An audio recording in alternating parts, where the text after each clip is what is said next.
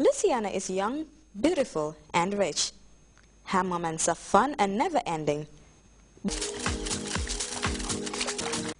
But a close look reveals an insensitive and envious girl. Being a sport model, Luciana's envy of supermodel Helena extends beyond the catwalk.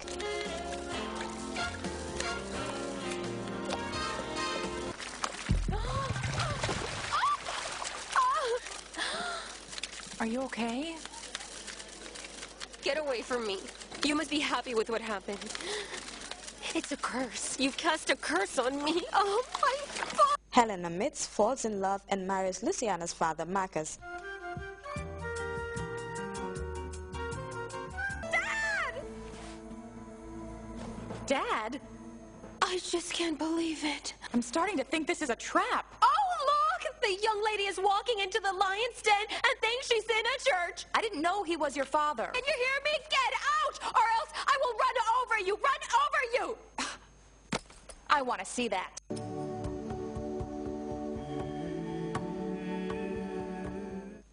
Luciana's selfish life is the synthesis of everyone around her, until a fatality changes the scene completely. In Seize the Day, Manoel Carlos tells stories of survival with delicacy, sophistication, and sensibility. It is about rediscovering ourselves, about moments when we find the strength to get up. The team, therefore, is to seize the day, because life is worth living. Sponsors invited for this captivating blockbuster. For details, contact GRTS Marketing. Two, three, and go! Só sei que ela está com a razão. Seize the day.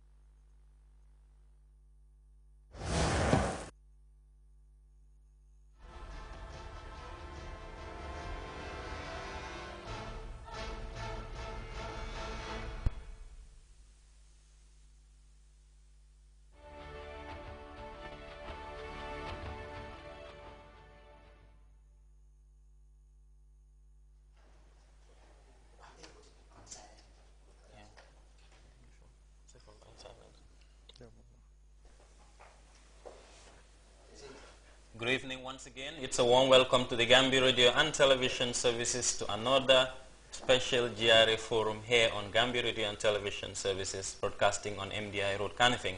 My usual guest, uh, Mr. Mari Sar, who is the acting tax manager at the Gambia Revenue Authority. On my uh, immediate right is Mr. Fafanding Cham, who is the Deputy Commissioner, Large Taxpayers Unit at the Gambia Revenue Authority. Gentlemen, uh, welcome to the program. Thank you. Thank you Uh, very this ma'am. process of, uh, you know, uh, trying to explain to viewers the importance of value-added tax, it's brought to you courtesy of the Gambia Revenue Authority in partnership with the Gambia Radio and Television Services to sensitize uh, our esteemed viewers on VAT itself so that everybody would be able to consume VAT and also understand what VAT is all about. But before I go any further, the registration had started long ago.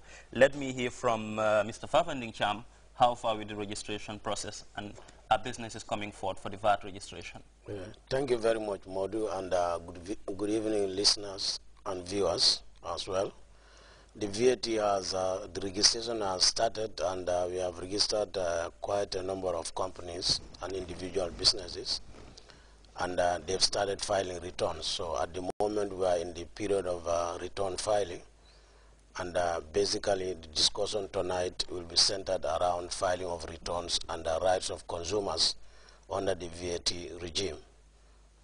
Good. Now, since we're going to discuss about filing of returns also. It's a very important you know, topic, especially businesses out there who are listening to this important program.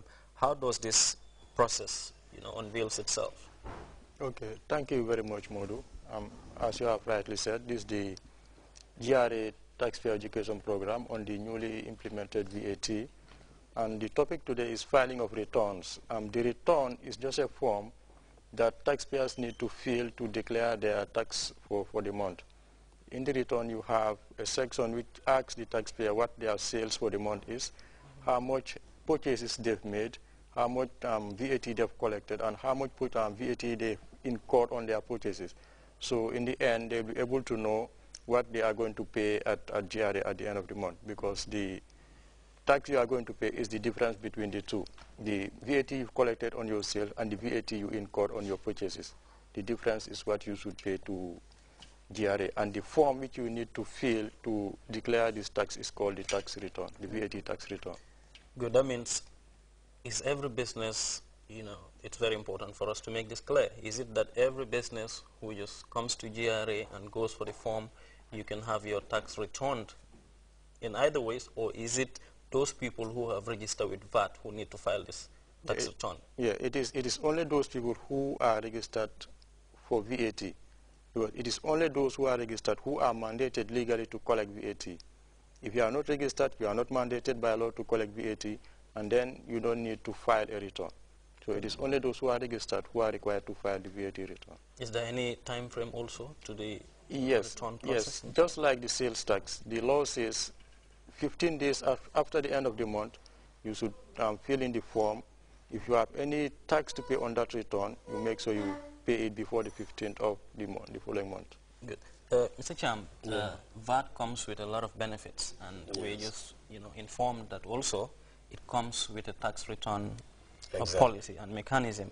Exactly. Uh, you have some add? Yeah, it comes with a lot of uh, benefit, particularly to registrants, that is those companies and individual businesses that have registered for VAT. And the benefits are the input tax credit that they are supposed to enjoy under the VAT regime, which they were not enjoying under the sales tax regime. This is one of the benefits which they claim when they are filing their returns as the tax manager or the acting tax manager, taxpayer service has said.